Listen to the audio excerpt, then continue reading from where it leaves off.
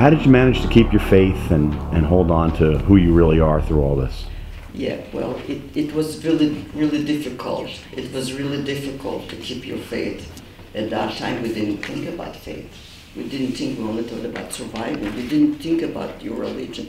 You only thought, why did it happen to us? What did we ever do as a people?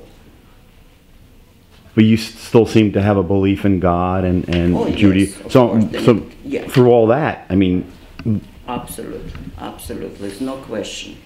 I love my God, love my God.